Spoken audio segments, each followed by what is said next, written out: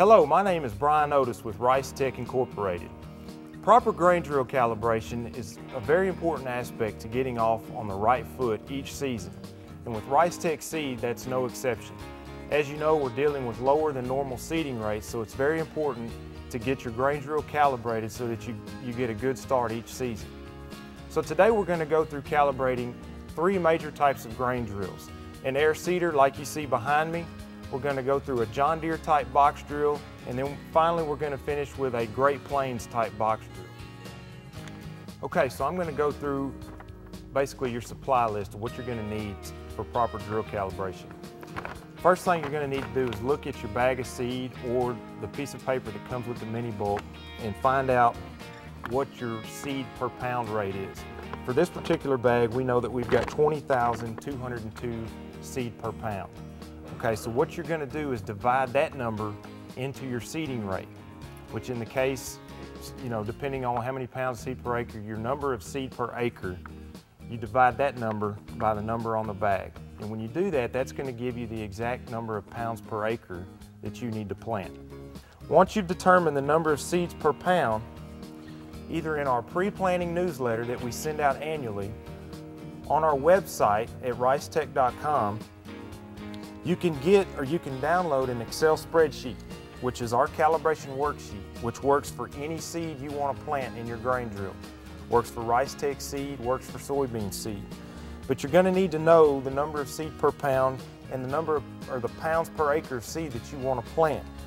You'll enter that number into our calibration worksheet and our worksheet will give you the proper amount of seed that you need to catch in the grain drill to ensure that you're properly calibrated.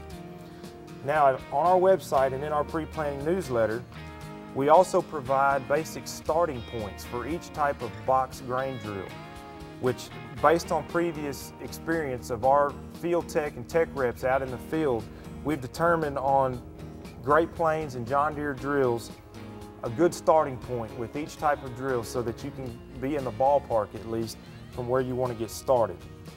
Okay, so for supplies that you're going to need, First, you'll need a tape measure. You're going to need to measure the circumference of the gauge wheel or the transmission wheel that's actually turning the drill. Second, you're going to need a ruler, and this will enable you to measure the cog so that you can get a very accurate measurement to, to, which meters the seed coming out of the drill. We recommend a, uh, a metal ruler in metric, so it's in centimeters and millimeters. Second, you'll need a calculator just to help you do some basic calculations. Although if you download the, the, spreadsheet from our website, the Excel spreadsheet will do that for you. Uh, duct tape. You'll need duct tape to mark the transmission wheel because we will be making a number of revolutions with the gauge wheel or transmission wheel. This will just help you keep track of where you're at. Finally, and something that most people probably don't have, will be a small electric scale. In this particular case, you can use a postage scale, or this scale is just about uh, just a standard electric scale that you can actually buy off the internet. Next, just a couple of uh, cups to help moving seed around in the drill to uh, measure seed out of the bag to pour into the drill.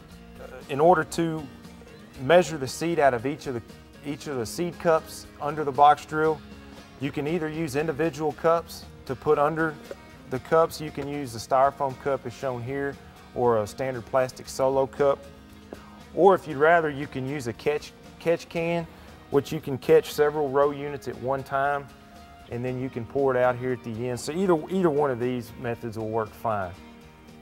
And then finally, once you're calibrated, we've come up with these handy magnets that can, you can affix to the lid in the box, and you can write down your settings. So each year, when you come to recalibrate at the beginning of the year, you've got good starting points from where you were set last year so that in the following year, you'll know where to start and you can calibrate the drill on your own. Okay, we're gonna demonstrate proper calibration of a Great Plains type box drill. Okay, in order to get started, first you need to make sure that the drill is completely empty. All the seed cups have been cleaned out, but then have been moved back up to that first position. Then you can go to our website and get the approximate starting points for this type of drill. First thing you need to know on a Great Plains is to make sure that the transmission is in the lowest setting. So on this particular drill, this is a Great Plains 2020, we're gonna be in drive setting number one, or transmission setting number one. Then, because this is an eight inch model drill, we're gonna make sure that our notch setting is at number 60. Sometimes these drills have quite a bit of play. I'm gonna go all the way to zero and then move it to 60.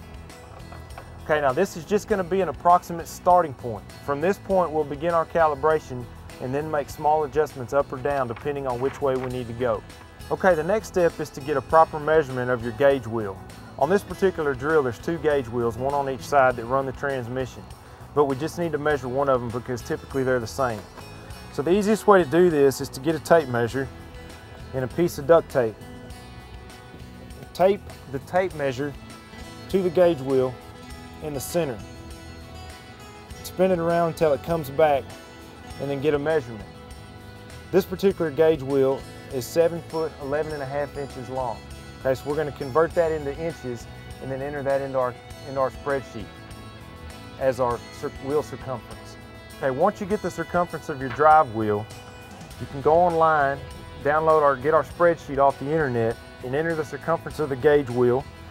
You can also enter the number of seeds per pound, which on your bag or on your mini bulk is a listing of the number of seeds per pound for your particular lot of seed. You'll put that information in, and then you're going to divide this number, number of seeds per pounds, into the number of seeds per acre that you need to plant. That will in turn give you the number of pounds per acre that you need to plant. You'll plug that number into the spreadsheet and it will give you the number of grams you need to catch from the predetermined number of row units and turns of the, of the gauge wheel. And when you get that number, then you'll know that you're properly calibrated.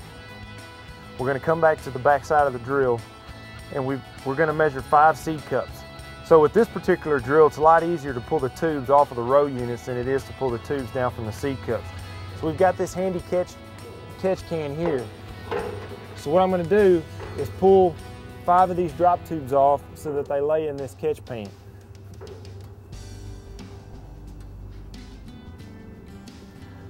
If you choose to, you can also use solo cups or get some help here to just hold cups underneath these seed cups if you don't have a, a pan like this to use to catch the seed.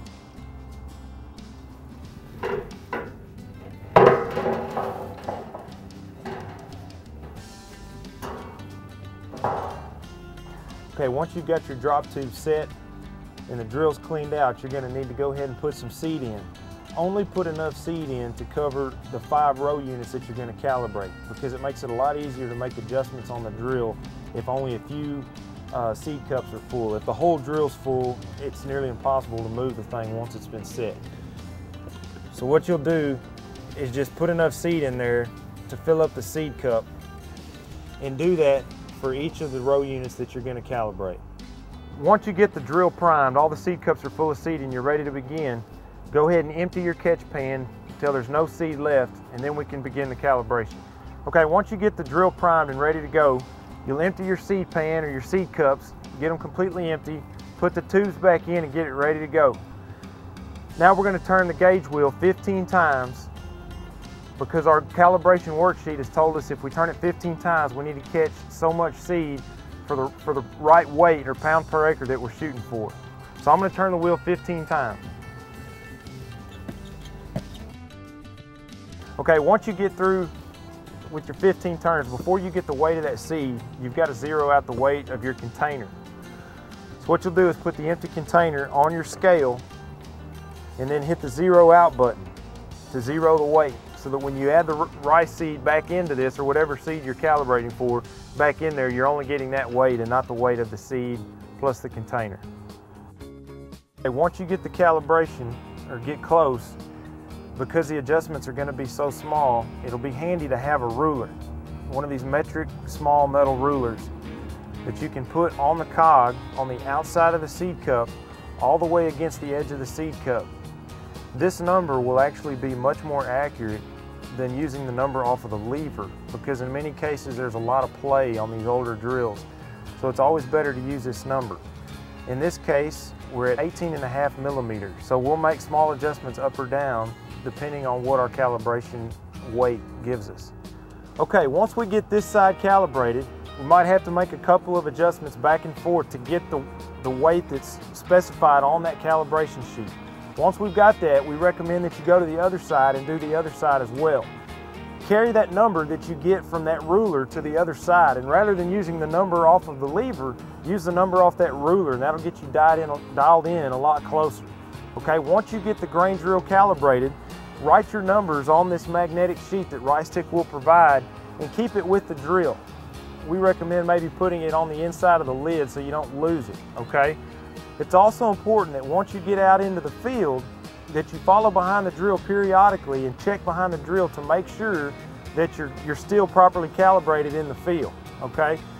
Also, there's several other drills that follow this same type of format.